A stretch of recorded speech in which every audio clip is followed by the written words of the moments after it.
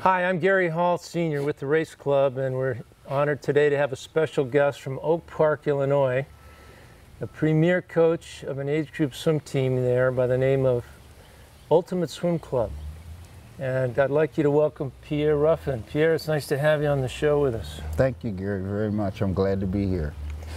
Pierre, you bring a lot of unique character and qualities to the sport of swimming, but uh, let me just name a few. First of all, there aren't too many Afro-American swim coaches in America. And when I add that to the list of those Afro-American swim coaches who don't know how to swim, you may be the only one. Tell me, how does a guy with your very interesting background that I want you to share with us, how do you get into the sport of swimming and why has it become such a passion for you today? Uh, when my four daughters were younger, they wanted to get into a sport. And because I grew up playing basketball and stayed playing basketball for so long, I didn't see that it would be good for them as girls to do any other sport. And I really didn't know what to do with them. And I just happened to be in the YMCA after I got through playing some basketball and seen these little kids swimming. So I went home and told my wife, told the kid's mother, let's put them in swimming. She thought it was a great idea, and so we put all four girls in swimming. And that's how I got involved. I just just be a parent. I would just go there, sit and watch them swim. Every night, watching them. Pretty soon, I became an official. I wanted to go down on the deck and learn about the sport, stroke and turns. I did that for many years, and then all of a sudden, one day, my daughter says, "Dad, we need some help with our strokes." I said, "I don't know how to swim. I can't help you." Well, you're going to have to try it, Dad. We need help. So I went to the library, and I, I never forget this. I went in there, and I asked the librarian, I said, I, I need a book on swimming, a real good book. And she says, we have the great book for you. It's called The Art of Swimming. And that was my John Counsilman's book. Mm -hmm. And that was the first book that I ever read on swimming. And that began to change my life. I started reading it, and from there, I kept working with the kids and I just developed a passion for it over time. Some of the greatest coaches of my era um, were not swimmers. Uh, Don Gambril, uh, Skip Kenney from Stanford, uh, George Haines uh, from Santa Clara Swim Club, Sherm Chavoor, uh, Ray Bussard from Tennessee. Some of the most innovative and the best swimming coaches came from football, baseball, basketball backgrounds. And you, from a basketball background, do you think that's an advantage or disadvantage to you as a swim coach today? I think when I first started, I, I looked at it as a disadvantage because I didn't know much about the sport. And that's probably why I have such a passion to learn and to be here is because I wanted to learn as much as I could. I did not want my kids that I were training to be at a disadvantage when they would go to competition. I didn't want them to feel that they could get better coaching somewhere else from a person who had swim versus a person who didn't swim. And I, it bothered me at first, but over the years of I have studied and I've worked hard, I've come to clinics and even coming to meet you, I've learned so much. No, I don't. I've gotten some very good swimmers, some state champions, and it doesn't bother me anymore. And I'm very, that's the one thing I'm passionate about, that it can be done. Pierre, you grew up in a very difficult environment by most people's standards. You were an orphan. You grew up in a home called uh, Boys Town in Omaha, Nebraska, very famous, started by Father Flanagan back in, I think, the 40s, yes. if I'm not mistaken. Uh, had to be a tough upbringing. How has that shaped your character and made you a better swim coach? It's helped me to understand never to give up, that you can be successful in spite of the opposition, in spite of things that might be coming against you, if you have a positive attitude and you set some positive goals and you stick to it, you can be successful. And I'm a, I'm a proof of that. I tell the kids all the time, if I can do it, you can do it. Hang in there. Don't give up. Things are going to be hard, but if you keep working hard and keep progressing and keep improving, the main thing is improving. I kept improving myself. I didn't stay stationary and stop. And I kept improving by meeting people and talking to people, and people encouraged me. Mm. And just what happened. And it can happen. And you've been very successful. You got a great age group program up in Oak Park, Illinois, just outside of Chicago. Uh, over 100 swimmers, right? Yes. Tell them how many assistant coaches you have. None. One coach, over 100 swimmers. And you know every one inside and out, don't you? Yes, I do. I made it a study because it's important that the kids know that you know them, that they're just not a number or just another kid on the block.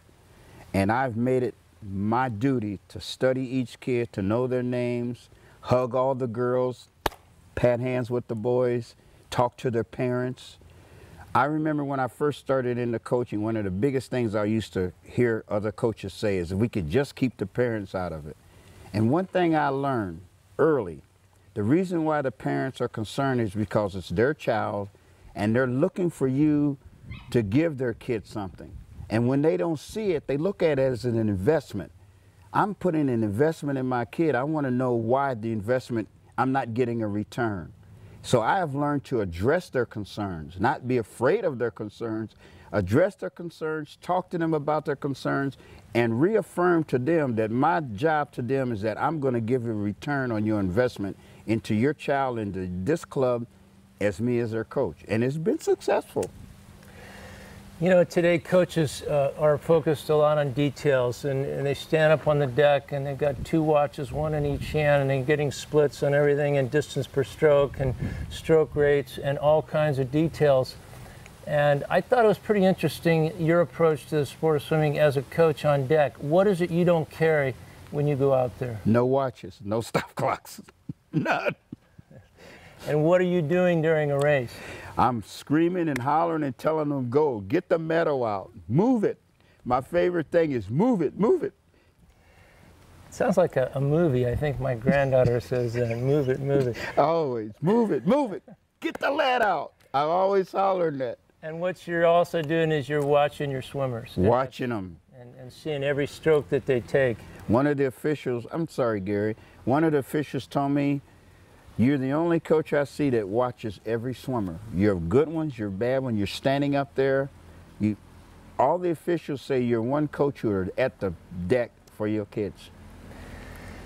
Pierre, you're very fortunate in having a sponsor. I know a lot of teams uh, across America would uh, are envious of, of, you because you have a great sponsor. Tell us a little bit about Athletico and your sponsor of your team.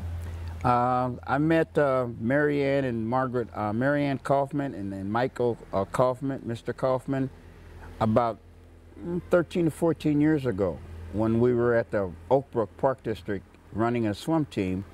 They brought their daughters to me. Uh, Fotini Kaufman, she was five years old at the time.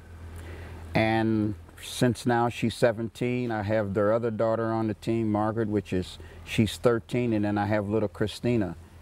Well, when I was at the Park District coaching for a while, there was an impasse and um, between the club and the Park District wanting to go from a competitive team to just having fun team.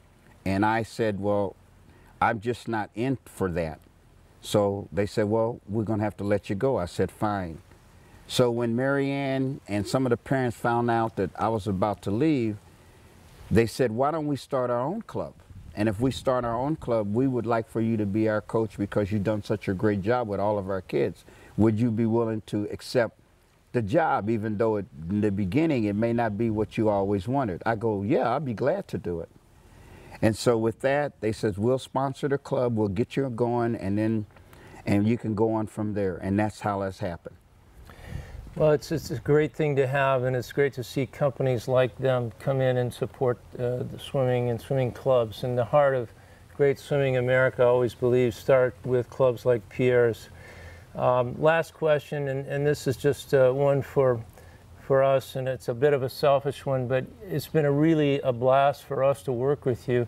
Pierre came down from Oak Park for a week of, of uh, just observing the race club, first coach we've really had for this sustained period. We've had many, many coaches who've come for a day or a session, but he's come down for a whole week. Share with us your experience here.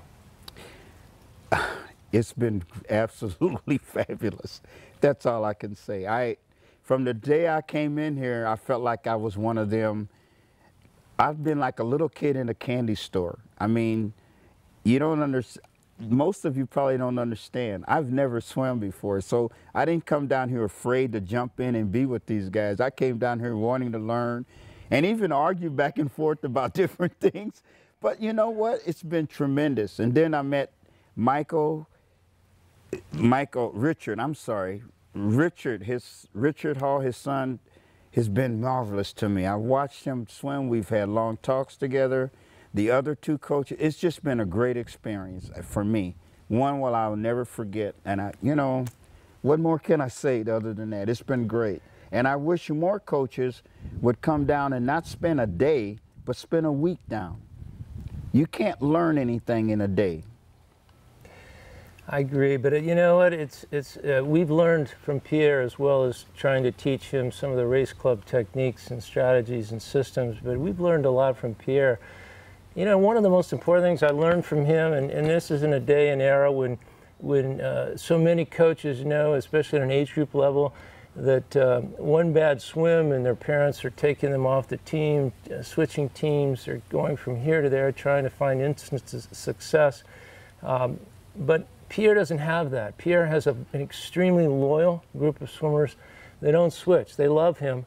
And the reason they love him is because he pays attention and he gives every girl a hug, good swim or bad, after a swim, and he shakes the hand of every of, of his boy swimmers after every swim, good or bad, and he tells them how great they are. And that's what makes Pierre such a special person as well as a great coach.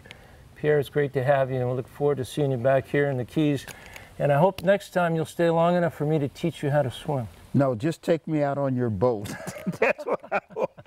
I'd rather have that. And don't push you in. No, if you do, that'll be okay. I have my life jacket on, so then you can push me in. All right. You got a deal. All right.